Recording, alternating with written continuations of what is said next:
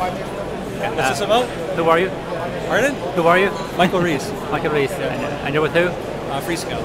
I know. What do you have here, Michael? This basically is the reference design from Sequans for femtocell. cell. Okay. Okay, so this is based on the Sequans SQN2130. SQN, right. 2130. Right, and the Freescale processor FPCA313. Okay. And what this is basically is femtocell cells meant, mainly meant for small, medium business as well as home use. So you still have an ISP connection to this box as your backend for your data, but on the wireless side you would be WiMAX. Okay. So you would have WiMAX clients such as what we have here, which would be used for things such as data. Right.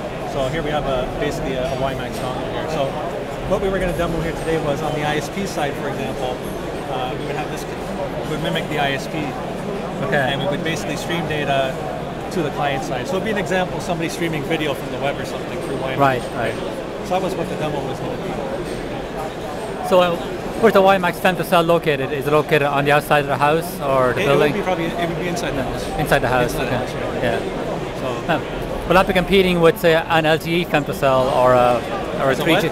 Will that be competing directly with the with, with an uh, an LTE femtocell model?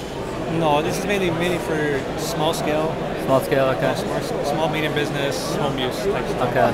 What sort of data rates do you expect you can get? Um, I think they, I'm not sure exactly. Right. I'm not sure exactly on what the, the different modulations do.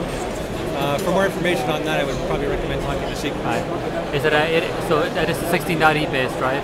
Yes. Or, or not 16e, right? Right. Okay. All right. And they have different different devices Sequans for Yeah. the, the front end. So they range from femtocell up to base station type setups. Right. Does the Freescale care whether or not uh, WiMAX and LTE converge? I really don't know. You know. I'm not really the WiMAX expert. so- Okay. Nice demo though. Nice demo when it works, right? Was that? Nice demo when, when it Yeah, when, when, it it works. works. So Yeah, I'm gonna keep working on that, and you know, You got some issues uh, with interference, I guess, right? Is that- uh, it? that's what I'm suspecting right now, or some, Yeah. possibly something wrong with the antenna. But uh, Yeah. Okay. I'm gonna keep working on that. Uh, Michael, thanks for your time. Appreciate it.